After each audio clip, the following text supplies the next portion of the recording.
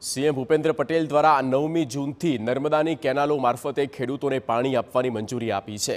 છતાં મોરબી બ્રાન્ચની કેનાલમાં પાણી ન મળતા ધારાસભ્ય કાંતિ અમૃતિયાએ રોષ વ્યક્ત કર્યો. આ સાથે લખતરના ઢાંકી પમ્પિંગ સ્ટેશનની મુલાકાત કાંતિ અમૃતિયા અને પ્રકાશ વરમોરા લીધી, જેમાં સામે આવ્યું કે લોકસભા ચૂંટણીના કારણે આચારસંહિતા હોવાથી કેટલાક વિસ્તારની કેનાલોમાં સાફ સફાઈ થઈ નથી, જેના કારણે પાણી ન પહોંચ્યું હોવાના સામે આવ્યું છે. આજે અમે મિટિંગ કરી અને આ કેનાલને ભયજનક સપાટી, એટલે કે જે વધુમાં વધુ કેપેસિટી સુધી ચલાવી અને આગળ માળિયા સુધી પાણી પહોંચે એ પ્રકારનું આયોજન કર્યું અને જે પાણીનો બગાડ થતો હતો.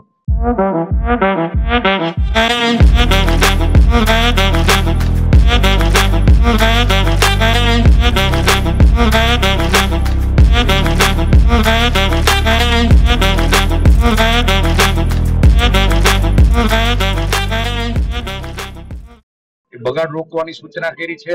એક બાજુ છેવાડા ખેડૂતે પાણી નહોતું મળતું અને અગરિયાઓની ફરિયાદ આવતી હતી કે અગરિયા સુધી પાણી પહોંચે અગાઉ જે આવતી હતી.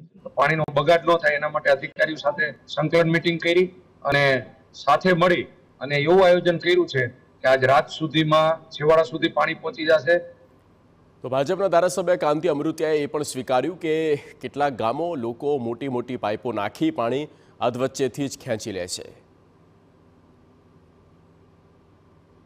અત્યારે અમુક જે એવા ગામ છે, એમાં માનો કે અમુક માણસો એ અંદર પાઇપ નાખી દીધા હોય આઠ આઠ પાઇપ નાખ્યા હોય, પછી એ પાઇપ નાખ્યા પછી પાણી એ ઘણીવાર એનો વેપાર કરતા હોય, દરિયામાં જતું હોય, એવું પણ અમારા ધ્યાનમાં આવ્યું હતું. ગઈ લગભગ પંદર દિવસ પહેલા અમે હું પ્રકાશભાઈ આવ્યા ત્યારે, જે ચાર ચાર પાઇપ નાખ્યા હોય બાર બાર ઇંચના એવા નાખ્યા હોય, એને પણ અમે કઈ રીતે બંધ થાય અને બગાડ ન થાય એના પણ અમે પ્રયત્ન કરશું.